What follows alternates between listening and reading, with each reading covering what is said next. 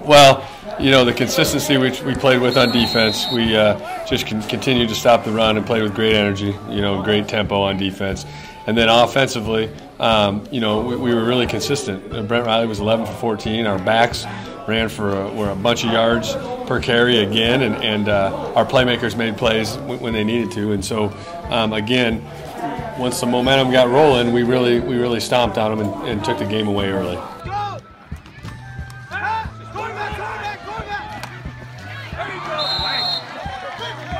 I think a lot of it is what we're doing right here. Where we watch film, and so we really study our opponents and know what moves beat each guy we play against, and um, they're doing a great job of play recognition. And um, I think Trey told you earlier, you know, I, I, like to call our defense formationally, and we do a lot of things not necessarily by plays, but by what teams are doing formationally, and our guys have been doing a great job of recognizing formations and out of those formations what plays teams are doing. And so uh, I've said all along, you know, what we needed to do this year was become a better team and have more knowledge of the game of football. And, we've certainly done that with our studies. And so that's helped us with our ball get off. And we're, playing with confidence right now. I think each guy knows that the guy next to him defensively is doing their job, and so it makes it makes us play fast because we're doing our job and we're playing fast.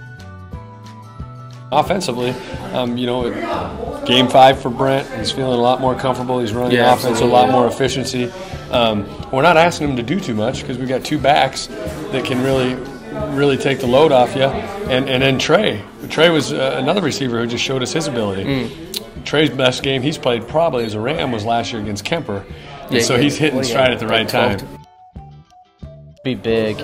I mean, I think it would want to. it'd be big for our team and uh, just uh, knowing that we're continuing towards our goal of district title, and we know that's what we want, and uh, I guess that's our main focus. Is just we know that we can do it, we have the ability, and it's just we got to put it all together.